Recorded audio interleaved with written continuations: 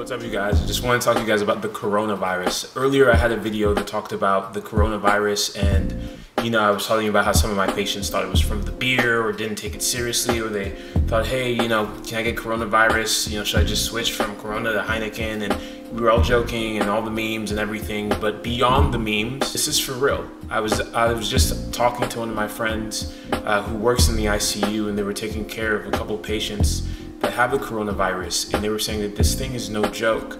And when people say it's just the flu, it blows my mind because it's not like the flu. For example, I saw numbers that were between 30 to 60,000 people a year die from the flu. And, and the flu has like a 0.1% mortality rate, but the coronavirus is already up to 3, 3.4%, I think, from the latest numbers that I've seen. So you have to keep in mind the coronavirus is more lethal, it's been shown to be more contagious, and overall, it's just a more deadly virus.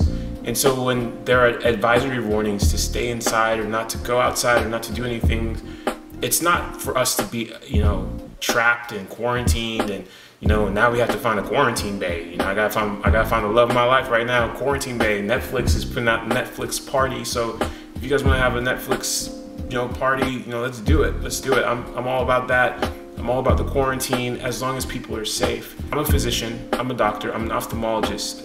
A lot of us who are specialists have been trying to figure out where's our role in kind of educating people. We're still doctors, we went to medical school.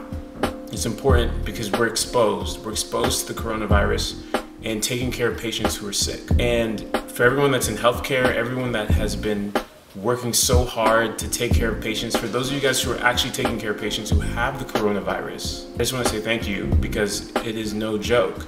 Um, I also talked to a buddy of mine who's in Italy who's currently quarantined, and I think just recently they had about about 400 deaths in one day. I think close to 500 in one day, and the death toll is just skyrocketing.